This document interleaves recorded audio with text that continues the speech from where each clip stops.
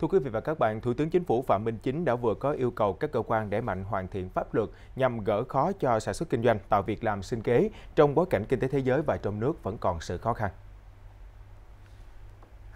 Cụ thể, các bộ trưởng và người đứng đầu tỉnh thành ra soát toàn diện quy định trong luật pháp lệnh hiện hành, xác định những điều khoản mâu thuẫn trồng chéo vướng mắc trong thực tiễn, đề xuất phương án sửa hoặc bãi bỏ. Các quy định có nhiều thủ tục qua tầng nấc trung gian hình thức không thực chất gây ảnh hưởng trực tiếp đến sản xuất kinh doanh và đời sống của người dân cũng cần sửa hoặc bãi bỏ. Địa phương, cơ sở hoặc tăng phân cấp để chủ động, linh hoạt tự chịu trách nhiệm. Người đứng đầu chính phủ yêu cầu chỉ ban hành thủ tục hành chính mới trong trường hợp thật sự cần thiết để quản lý, điều chỉnh quan hệ xã hội mới phát sinh.